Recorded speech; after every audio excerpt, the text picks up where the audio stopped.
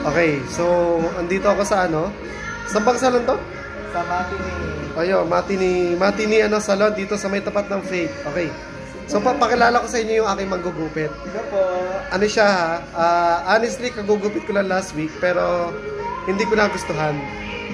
And then nagpunta kasi ako dito, kaso puno siya eh. Maraming customer kasi ito eh.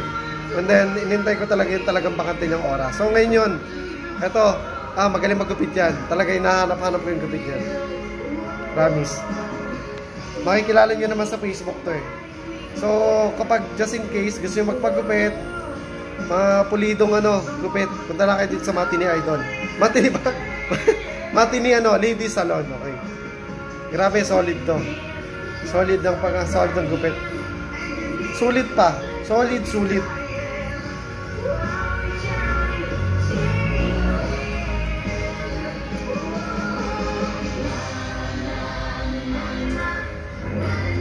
Oh, oh mag-hi ka muna sa mga fans mo. Po.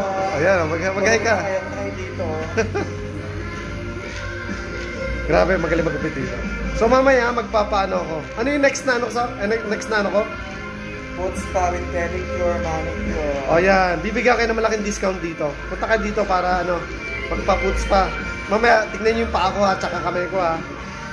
Tayo wala. Oh, tanggal lahat ng kalyo. Yung mga massage pa. okay, so mati ni Idol. Ay, mati ni Idol. Mati ni Lady Salon. Okay, so uh, andito lang to sa tapat ng Faith. Tanawan City, Batangas.